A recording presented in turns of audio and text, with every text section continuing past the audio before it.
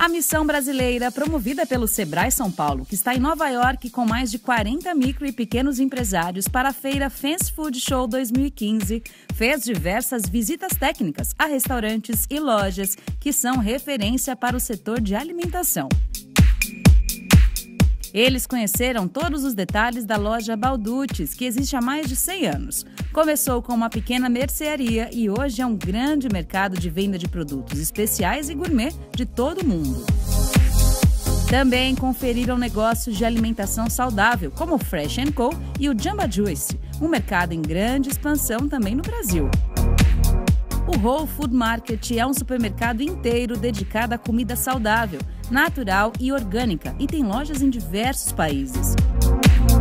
Na Magnolia Bakery puderam ver de perto como é a produção e disposição nas vitrines para a venda de bolos, doces e principalmente dos cupcakes, que fizeram a confeitaria ganhar fama mundial.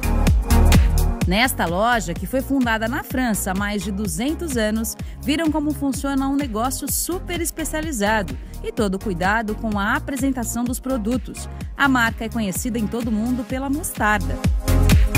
No supermercado Klein, confirmaram como é forte a tendência de vender, além dos produtos convencionais, grande variedade de comida pronta, feita com qualidade.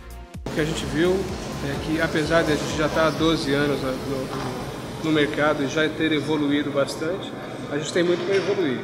E agora a gente vai começar a segmentar melhor é, a nossa, o nosso produto, melhorar a nossa rotulagem para levar para o cliente certo, para a gôndola certa, para poder vender mais. E agora a gente está com muitas ideias para a gente poder chegar lá no Brasil, igual o Augusto falou, segmentar mais esses produtos, né? trabalhar mais quais são os carros-chefes para a gente poder realmente ter uma penetração maior no mercado e assim conseguir aumentar as vendas.